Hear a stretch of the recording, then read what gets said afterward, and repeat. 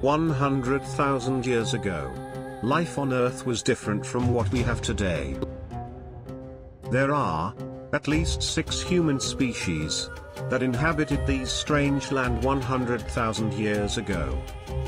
Homo erectus, Homo neanderthalensis, the Denisovan, Homo floresiensis, or better known as the Hobbit, Homo naledi, and us, Homo sapien.